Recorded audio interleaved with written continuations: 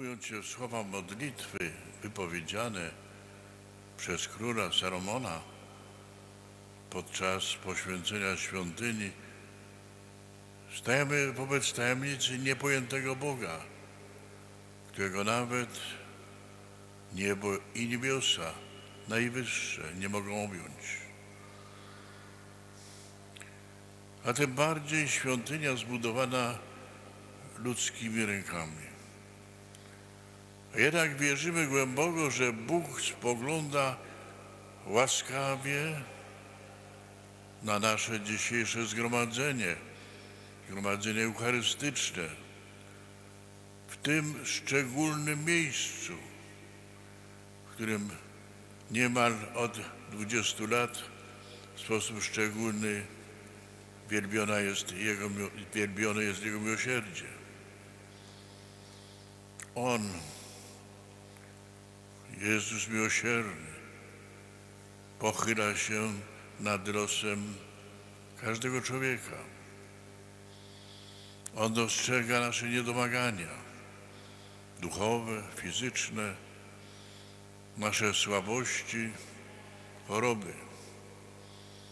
On niczym dobry Samarytanin leczy nasze rany.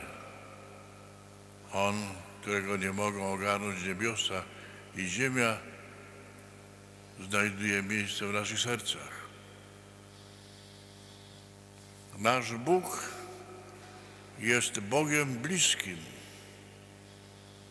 On zbliżył się do nas najbardziej w swoim Synu, Zbawicielu świata. Jemu naprawdę zależy na, na nas. Jemu zależy na naszych sercach. Dlatego jak poucza nas dzisiejsza Ewangelia, przed chwilą odczytana, On nie, zadawali, nie zadowoli się nigdy żadnym zewnętrznym obrzędem, słowami, gestami, dopóki nie będzie za nimi stało nasze serce. A więc to, co w nas najbardziej głębokie, najbardziej wartościowe, najbardziej osobiste. Miłość nasza. Taką postawę reprezentowała, tak, takie serce miała Maryja, Matka Chrystusa. Dzisiaj obchodzimy objawienie jej wrót. Dlatego też ona, jak modlimy się słowami prefacji, otoczyła macierzyską troską początek Kościoła. A przyjmując pod krzyżem testament Bożej miłości, wzięła za swoje dzieci wszystkich ludzi, którzy przez śmierć Chrystusa narodzili się do życia wiecznego. Pośród wielu dowodów opieki Najświętszej Marii Panny nad Kościołem i światem wspominamy dzisiaj to, czego ona dokonuje w jednym ze swoich licznych sanktuariów. Francuska wioska Lourdes zasłynęła z objawień Matki Bożej, jakiej doświadczyła czternastoletnia dziewczynka Bernadetta Subiru. W odległych już od nas czasach 11 lutego 1858 roku. Tam Maryja nazwała się niepokalanym poczęciem, wzywając ludzi do modlitwy i pokuty. Lourdes zasłynął również i nadal słynie z licznych i niewytłumaczalnych uzdrowień, jakie się nam dokonują. Prawdziwym jednak cudem jest to, że jeszcze większa liczba chorych i niepełnosprawnych powierzających Maryi swój los, powraca uzdrowiona na duchu. Gotowa nieść swój krzyż jako udział w krzyżu jej Syna, Zbawiciela świata, który za nas wszystko oddał, oddał swoje życie na krzyżu. I to dokonuje się również w tym sanktuarium. I o to prosimy Matkę Najświętszą. O te cuda moralne, a także i fizyczne. Pośród wielu ważnych decyzji podjętych podczas pontyfikatu świętego Jana Pawła II, jak już słyszeliśmy z ust kustosza, było ustanowienie Światowego Dnia Chorego. Nieprzypadkowo Ojciec Święty związał ten dzień z liturgicznym wspomnieniem Najświętszej Marii Panny z Lourdes, a ustanowił go 13 maja 1992 roku. Jak wiemy, 11 lat wcześniej, 13 maja 1981 roku, Jan Paweł II padł ofiarą zbrodniczego zamachu na jego życie. Byłem świadkiem tego momentu. Byłem razem z Ojcem Świętym na dżipie, który go woził po pracy świętego Piotra. Źli ludzie, trzeba tak powiedzieć, chcieli się go pozbyć. Ty, ci, którym przeszkadzała jego papieska posługa, głoszenia Ewangelii, głoszenia prymatu miłości i służby. Jan Paweł II przelał wtedy krew, ale życie ocaliła mu Matka Najświętsza, bo był potrzebny Kościołowi, był potrzebny światu, był potrzebny nam. Jego życie i niezmodowana służba również była naznaczona chorobą, jak wiemy stopniowo utratą sił i zdrowia.